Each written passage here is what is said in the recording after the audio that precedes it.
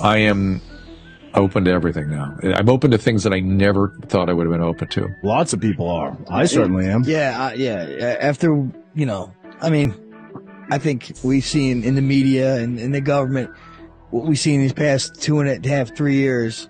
I mean, who knows what the fuck they're really telling us. I've realized that everything in the in the news is BS.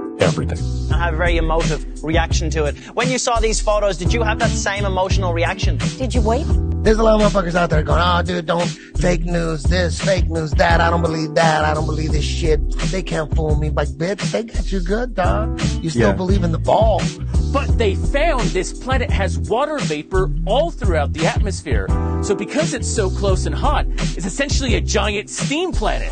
So it's kind of like a giant sauna that is existing in the solar system. I, Wow. lo- God, I love your excitement. It is infectious. I want to know so much more about this. They got us all That's the biggest one. The biggest one. It one. really is. NASA. The Yeah. fucking That Warner is the biggest Bros. one, and it's got everyone, man. NASA Got everyone. is Yeah. About 10 quintillion dollars worth of minerals.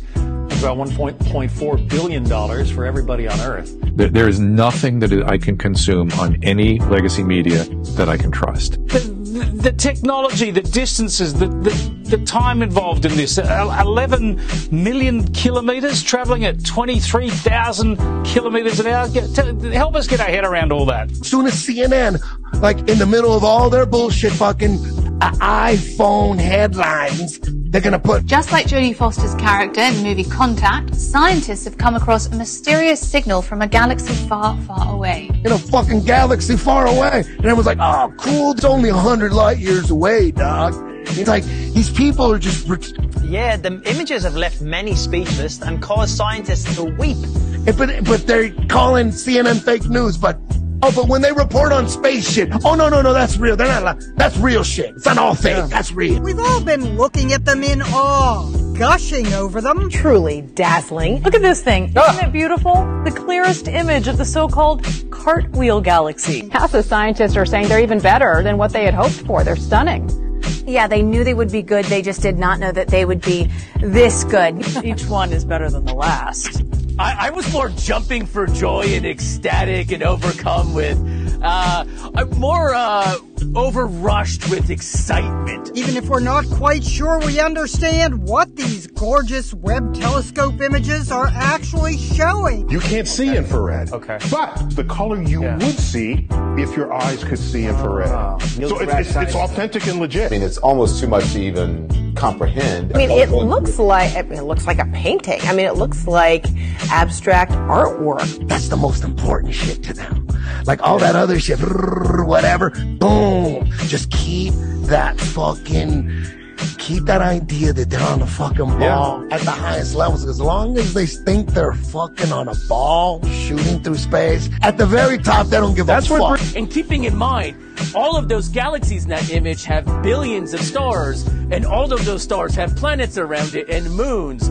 We're literally just putting into scale the huge, the enormity, the hugeness of our universe. Yeah, I, th- I think that's the thing that blew my mind the most. I mean, the, the potential number of galaxies that exist. There was a time where we thought there was only one.